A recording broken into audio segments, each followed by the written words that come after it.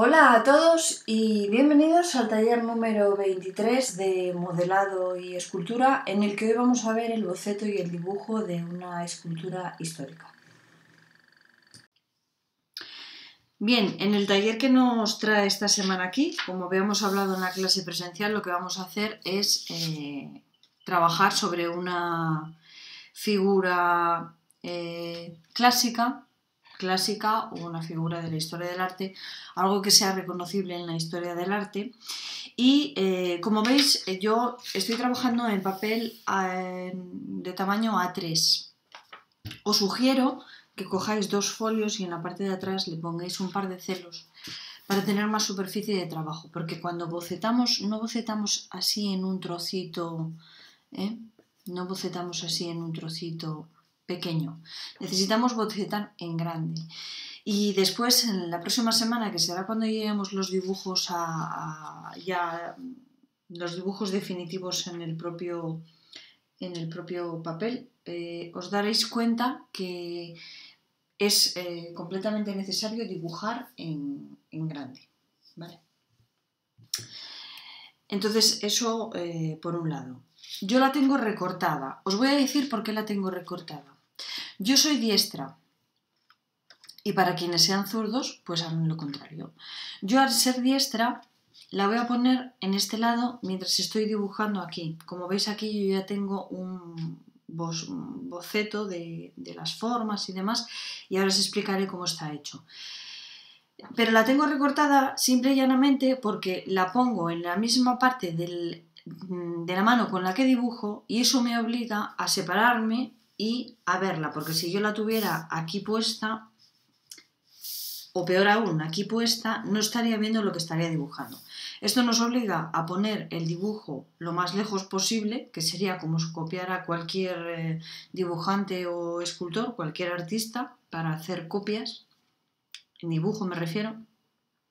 Y una vez aquí, pues eh, yo estoy viendo con perspectiva, tanto perspectiva al dibujo como perspectiva desde el dibujo hacia mi cuerpo, teniendo el brazo estirado y viendo todas las posibilidades que ofrecen esta, estas formas, ¿no? las formas de, esta mujer.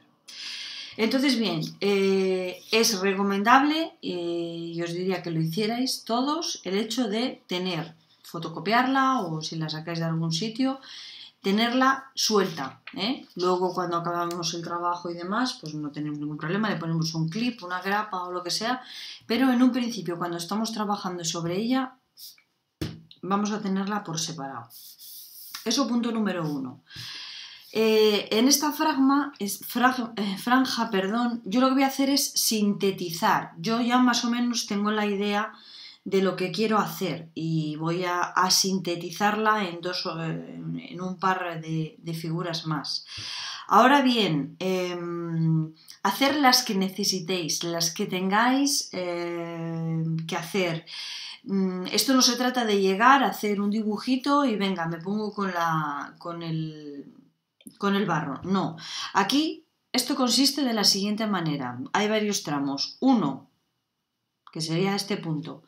Ver la figura natural. La vamos a estudiar. Vamos a estudiar la figura y los retos técnicos que tiene para la plástica, para, la, para los elementos que nosotros vamos a, emplear, ¿no? Como en este caso va a ser la, propia eh, cerámica. Dos, la vamos a dibujar. ¿eh? La vamos a dibujar como ya os digo, si somos diestros, la pondremos aquí, no aquí, tiene un sentido el hecho de que la pongamos aquí. Y es que al ponerla aquí necesitamos separarnos más del papel. Es un ejercicio que nos va a ayudar a ver toda la figura y sobre todo a calibrar las dimensiones y, y también a calibrar los ejes y que no se nos salgan unas de otras. Vamos a bocetarla, a bosquejarla. Después, en el siguiente tramo, de este ejercicio, que todo será parte del dibujo, empezaremos a sintetizarla. Vais a ver cómo yo voy a sintetizar una pieza. Y por último, aquí vamos a sintetizar todas las que sean necesarias. Que lo resolvemos en 3, perfecto. Que lo resolvemos en 6, perfecto. Que necesitamos hacer 10, perfectísimo. Cuanto más trabajamos sobre una figura, obviamente muchísimo mejor mm, nos quedará. Y por último, cuando lleguemos a la definitiva, que esta será la definitiva, en el próximo taller, lo que sería la próxima semana, lo dedicaremos al dibujo en las tres vistas. Haremos una vista de frente, haremos una vista de perfil, teniendo en cuenta si son los perfiles iguales. Si no son iguales, haremos un perfil de un lado y un perfil de otro. Haremos la trasera y la dibujaremos también en planta, cenital, vista desde arriba. ¿De acuerdo? No tiene que ser un dibujo eh, perfectamente estructurado en sentido de milímetro para acá, milímetro para allá. No, es algo eh, igual que nosotros en, la pasta no dibujamos, al, no, no, modelamos al milímetro como quien dice, si es verdad que eh, tenemos que tener una referencia y la referencia es esa es el dibujo. Ahora bien, que en vez de hacer así, nosotros hacemos así, bueno, pues todo se puede corregir si es necesario corregirlo, a veces no lo es. Entonces, yo como veis tengo aquí la Venus de, de Milo, es una escultura clásica, y aquí por lo que empezamos a dibujar cuando, cuando dibujamos una escultura, es hacerle los ejes. Los ejes son lo que vemos aquí. ¿Eh? El eje horizontal de la mitad de la escultura. ¿Dónde está el mitad, la mitad de nuestro cuerpo? Por lo general está en el ombligo, la mitad de nuestro cuerpo. Pero nosotros en las esculturas, sobre todo en las clásicas, el, em, eje eh, horizontal se lo ponemos en la parte de las caderas, porque en teoría es la parte más ancha del cuerpo de una mujer, las caderas. Y después haremos uno en vertical, que ahí sí pasaría por el ombligo, pasaría por, por todo lo que es el centro de la figura. ¿Vale? Esos son los ejes sobre los que nos tenemos que arreglar. Después hay otros ejes que nos estimulan mucho y que son los hombros. ¿eh? Aparte de, bueno, el volumen de la cabeza, que lo tenemos aquí, está marcado con unos ejes bastante, bueno, pues es todo bastante geométrico, como veis. Y luego serían los ejes de los hombros. ¿Eh? También marcamos los ejes de las caderas, aquí en esta parte ¿eh? que tiene un poquito de, contraposto. Eh, también entramos así en su cintura, en la otra parte obviamente también entra. Luego aquí hay otra cosa importante y es que tiene una pierna adelantada. Tiene una pierna adelantada donde desconocemos dónde está el pie, por lo cual aquí le marcamos una rodilla. Em, toda esta parte vendría metida más bien hacia aquí, de lo que yo he dibujado, viene metida hacia aquí. Y lo que tenemos aquí al final, bueno, ahí es porque está rota, lo que tenemos ahí al final sería la peana que sustenta, la basamenta y la peana que sustenta toda la escultura. Una vez que tenemos estos eh, ejes eh, que son eh, necesarios para todo tipo de, volúmenes cuando los dibujamos, incluso cuando estamos dibujando un retrato y demás, también necesitamos eh, hacer ejes, ¿vale?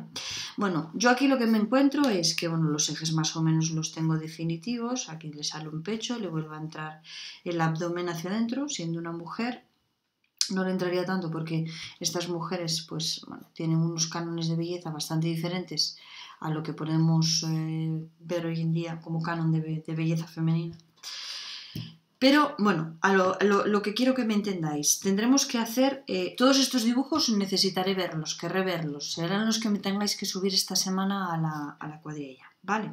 Entonces, vemos que en la parte de arriba, a pesar de tener aquí un montón de líneas, yo voy a intentar sacar las líneas más oscuras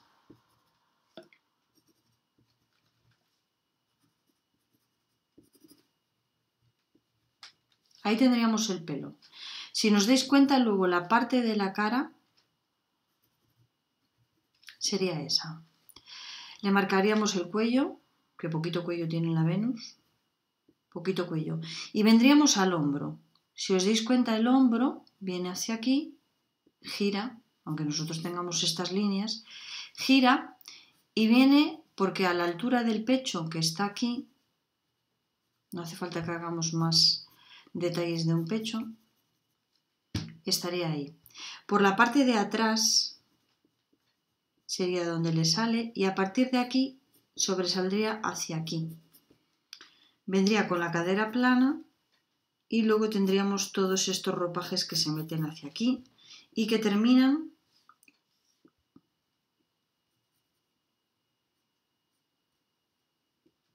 con un pie ahí, que no nos interesa porque nosotros no vamos a sintetizar un pie. De la misma manera, solamente os estoy explicando, aquí tendría la clavícula, aquí tendría la clavícula. De la misma manera, para este al lado, esto lo tendríamos que hacer todo desde arriba hacia abajo, ¿eh? para calibrar. Pero yo como ya la tengo dibujada, vendríamos por aquí, vemos que tiene ahí, porque ese brazo lo tiene roto desde, desde bastante, bastante cerca del hombro, lo tiene ya roto.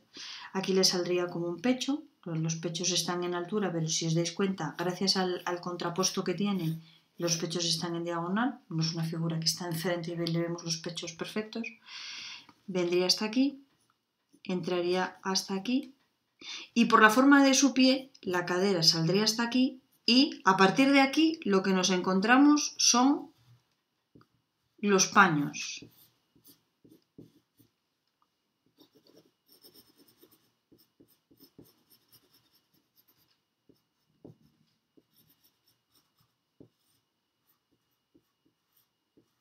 Los paños que, como ya os dije en su momento en clase, como ya os dije en su momento en clase, los paños es de las cosas más complicadas de dibujar.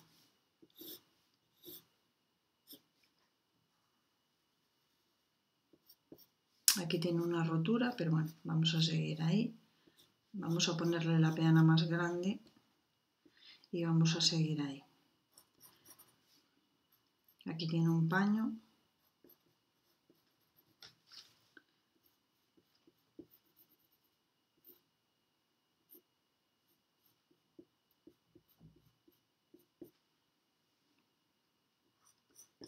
de aquí le sobresale otro paño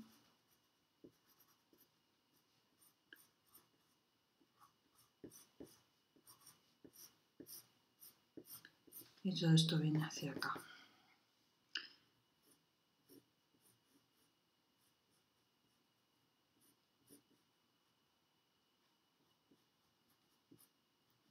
El paño también lo tiene marcados por, por la parte del pubis.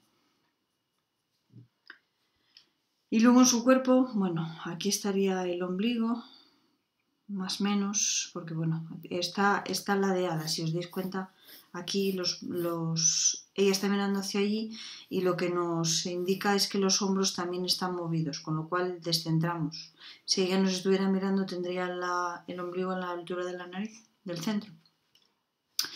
Y bueno, en principio estos ya son detalles pues que yo he ido quizás eh, modernizando, ¿no? Pero bueno, como, como, podéis ver, ella es completamente, completamente recta. Entonces, bueno, a partir de esta Venus es de la que yo voy a trabajar. Y entonces, ¿cuál es el reto a partir de ahora? Sintetizar formas. Como tenemos esta, por eso os digo que trabajéis con un papel que sea... Y si, y si tenéis que poner tres papeles juntos y ver eh, tres papeles juntos para dibujar, esto lo que nos va a permitir es que vamos a ir viendo una, dos, tres, cuatro, cinco, todas las, todas las que vayamos dibujando, pero dibujarlas siempre teniendo en cuenta la que tenemos delante. Y aparte de tenerla delante, lo que nos sirve esto es para eh, no perder la escala. ¿eh? No perdemos la escala. Por ejemplo, ahí estaría la cabeza, aquí estarían los hombros, en caso, tenemos el pecho, tenemos el ombligo, tenemos... Esto a mano alzada todo, ¿eh? Sin regla. Tenemos la cadera, la altura de la rodilla y la altura del pie. Esto no tiene sentido si sacamos una regla, ¿eh? Obviamente. Y como veis, a mí me conocéis porque siempre trabajo con el portaminas. No hace falta goma, el portaminas. Pues yo estoy trabajando ahora con un 2HB. Si hago una línea así, Si hago una línea así y resulta que no me sale, cuando venga la siguiente para acostumbrarnos, porque en el boceto no existe la goma. ¿eh? Si a mí me ha salido así y resulta que tenía que hacer una línea recta, lo que hago es venir y marcar la línea recta, pero esta no la borro. No existe la línea de borrar, la goma de borrar, perdón. Entonces, eh, bueno, yo he decidido, tengo el hombro aquí. Voy a hacerle un hombro aquí, porque es algo ya que yo me estoy imaginando. Yo no le voy a hacer cabeza, sino que le voy a hacer aquí una especie de plano. Y para llegar hasta aquí, que sería el cuerpo, le voy a torcer aquí. Aquí le voy a hacer un pecho.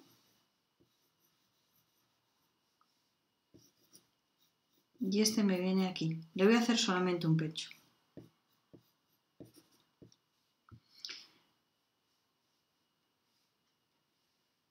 Esta parte me viene, va a venir hacia aquí porque va a cambiar de plano. Esto será un plano. Esto será un plano.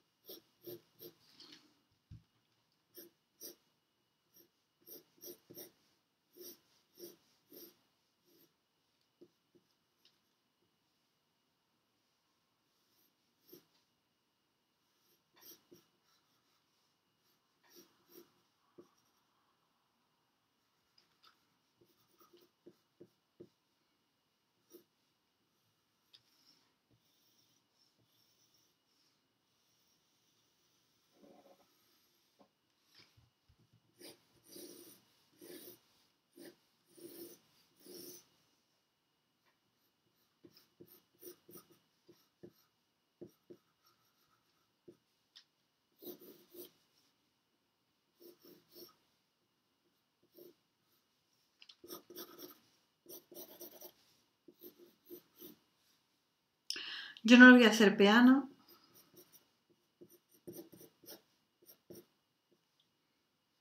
Y esta que cruza aquí, luego le sacaré una pierna hacia así, un poco menos sutil. Esta la voy a meter hacia adentro para poder sacarle una pieza sutil, porque aquí y esta la meteré hacia adentro y esta la sacaré hacia aquí. Porque tal, la perspectiva tal y como nos, tal y como me viene aquí, el punto de gravedad es probablemente que venga por aquí.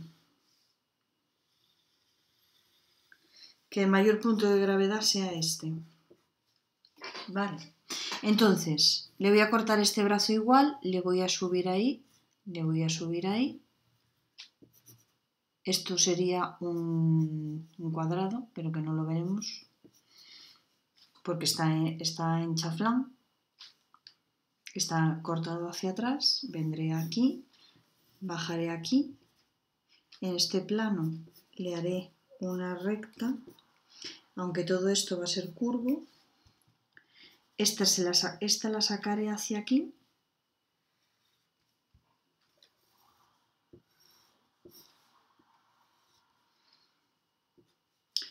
el hecho del manto que en aquí me va a venir con la rodilla, yo lo que le voy a hacer es sacarle una pieza más bien decorativa ahí y luego como rasgo femenino le haré un pecho aquí, pero que va a ser un pecho que está insertado dentro de una espiral porque luego esto me tiene que venir a encajar aquí.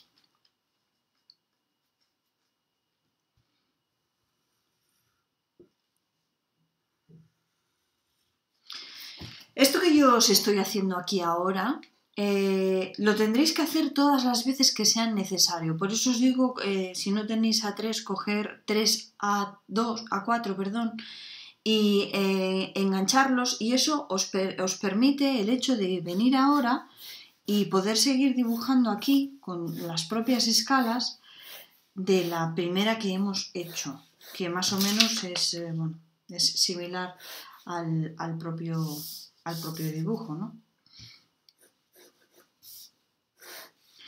Sobre todo tenéis que sentir el hecho de, eh, cuando lo estamos haciendo, sentir si, si esto se nos va a caer, si no se nos va a caer, si por ejemplo sentimos que yo ahora, como tengo todo este mazacote aquí, esto se podría caer hacia aquí.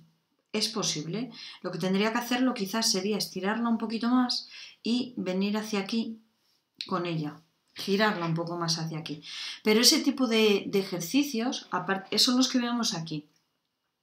Pero aparte de ello, eh, bueno, será una cosa que podamos eh, también mm, de algún modo eh, rectificar cuando estamos modelando. Daros cuenta que esto va a ser una pieza que luego va a estar vaciada, con lo cual mm, todos los retos técnicos que hemos aprendido a lo largo del año vamos a ponerlos aquí en práctica. Em, deciros que, bueno, esta semana vamos a hacer la síntesis de lo que sería la pieza que hemos eh, elegido, que por ahí está, vamos a hacer la, la mena de descopas, vamos a hacer una figura de Rodin y vamos a hacer alguna más. Vamos a ver cómo las sintetizamos y cómo las dibujamos. Importante, reitero, importante, dibujamos en grande, dibujamos en grande. Nada de venir aquí y hacernos el... Eh, está en pequeño, ¿eh? porque no conseguimos nada nada. Hay que dibujar en grande y si nos equivocamos en una línea, venimos con una más fuerte utilizando un lápiz, venimos con una más fuerte y la marcamos y dejamos clara cuál es. ¿De acuerdo? En eso se trata el bocetaje. En la próxima sesión lo que haremos será coger la pieza que nos interesa y llevarla a las cuatro. Eh, en esta clase estaríamos en esto y cuando llegaremos a esto y cuando la, en la próxima semana haremos el frente, haremos los perfiles 1 y 2, haremos la trasera y haremos el cenital. ¿De acuerdo? Y vamos a ver esta semana en los bocetos que tenéis y de las piezas que tenéis lo que podemos eh, solucionar y de qué manera solucionarlo. ¿De acuerdo?